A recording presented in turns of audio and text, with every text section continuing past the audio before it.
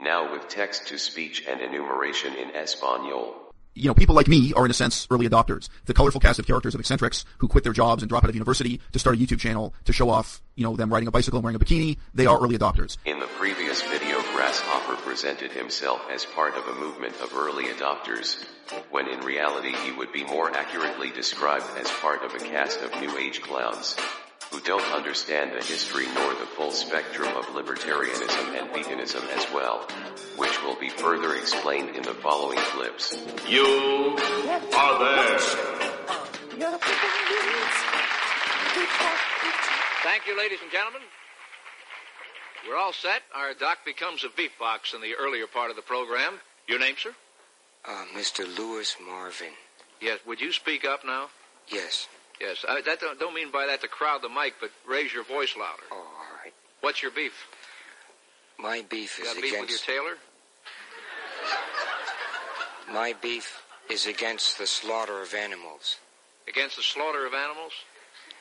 You wouldn't string your son up on a ramp and put a shackle around his legs and hoist your son into the air and cut his throat and let his blood drop upon the floor.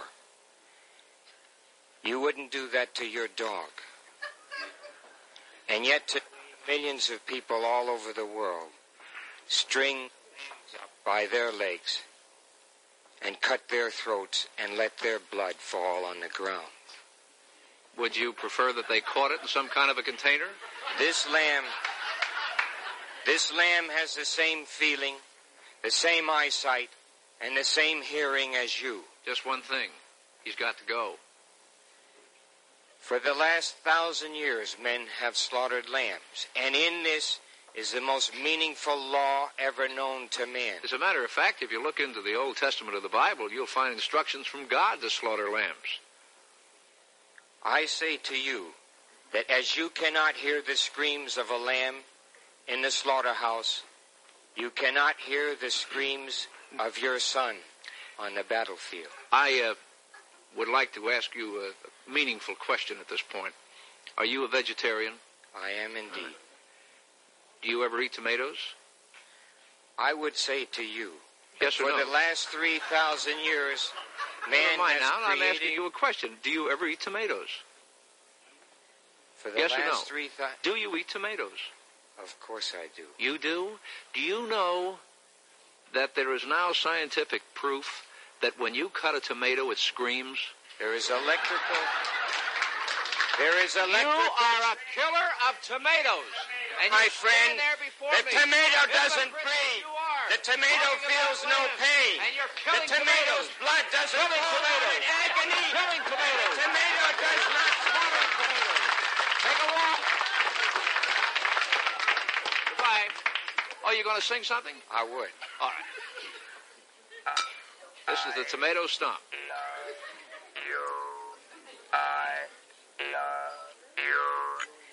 As the animal dies, So shall and you the tomato. take the slaughter of that animal, so will you die, my friend, and the screams of an innocent beast will plague you as the it has time plagued you cut humanity into that for the tomato, last I want you to have a years. care. And when you see your tailor, tell him Joe sent you. To judge a man by Don't the color shout. Don't shout, you tomato killer. You tomato killer. We'll be back, friends, right after judging a man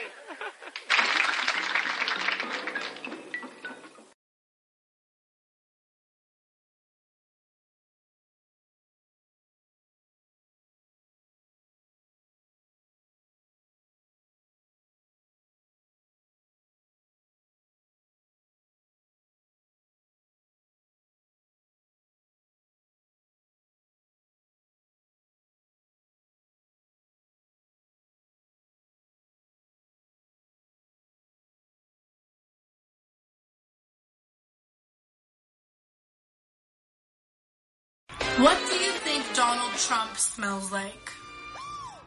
A stale tuna sandwich made with dollar store tuna and a glass of flat ginger ale. Should bimbos have the right to vote on matters that concern your liberties? Who would you rather have for president, Kanye or Trump? Bimbos have the right to vote on matters that concern your liberties. I have decided in 2020 to run for president. If you were a boy, what do you think your dick size would be?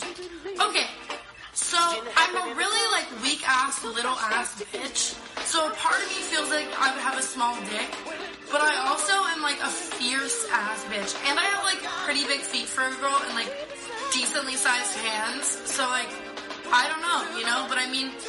Either way, I would hella work with it because it's the motion of the ocean, you know? Is Tana short for something? No, Tana is not short for something in the face, and I'm like, yeah, it stands for French Montana. And then some people are like, haha, very funny. And then some people are like, really? You are not destiny. It is not your job to decide when a living thing's life is over. And you, DT, Donald Trump, are not God no matter how much you think you are. And if if he doesn't think he is God, he thinks he is the fucking chosen one in some or some shit.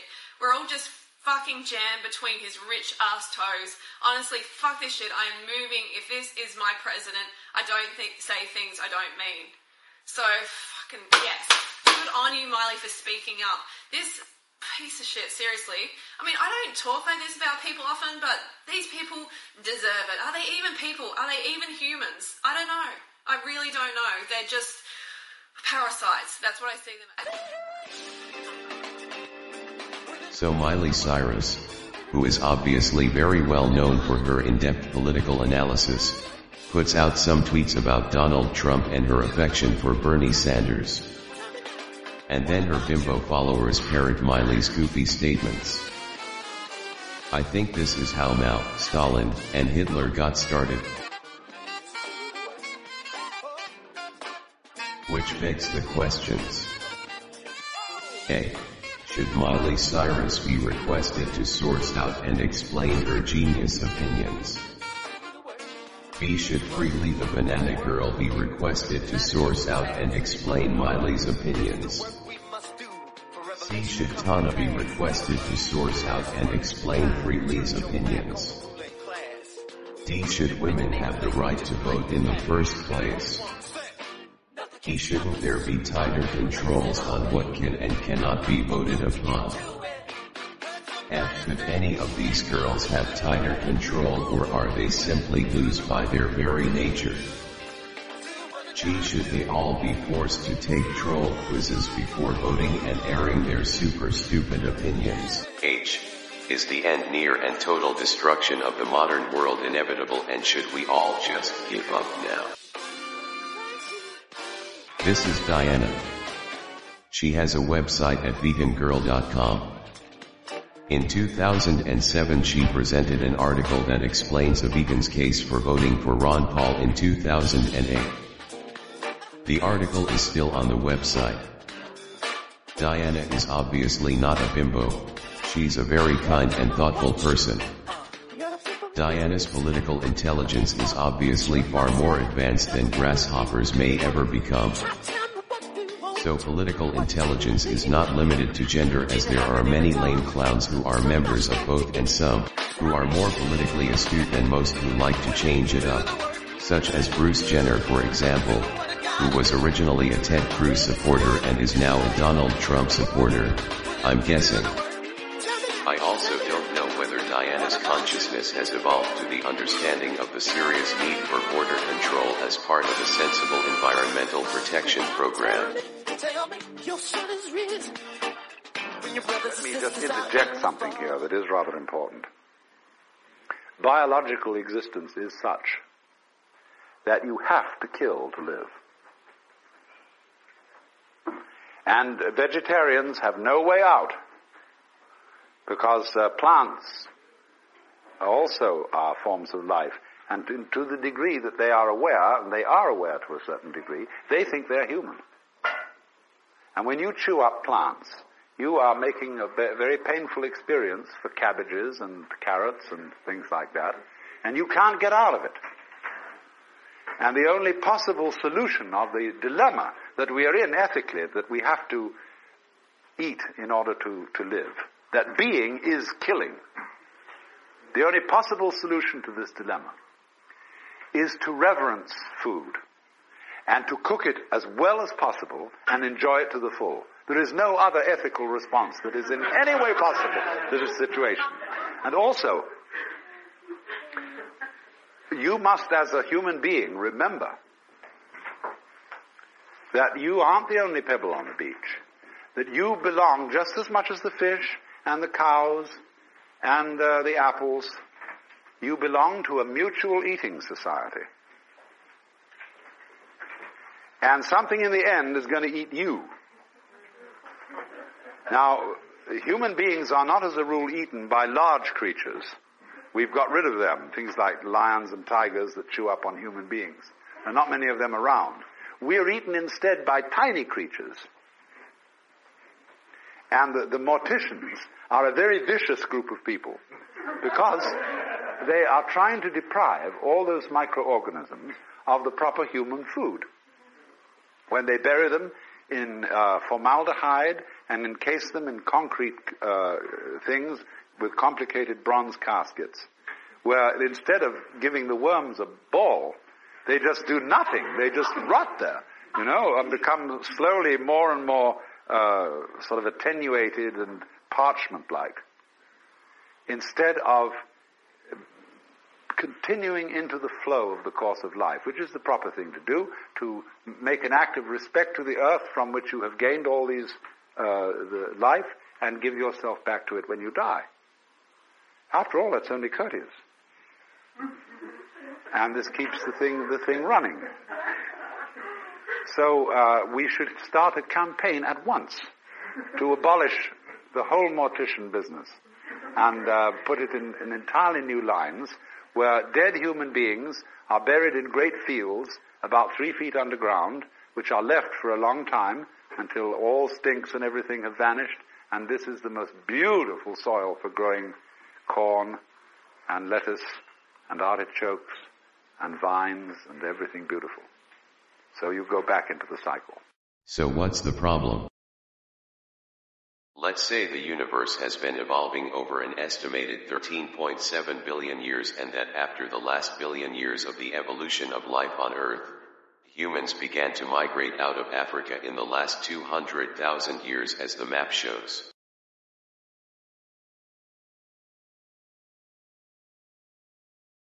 The world population began accelerating rapidly with the introduction of new technologies that would make production of goods and services more plentiful, so it took less time to produce more food, clothing, housing, and transportation for example.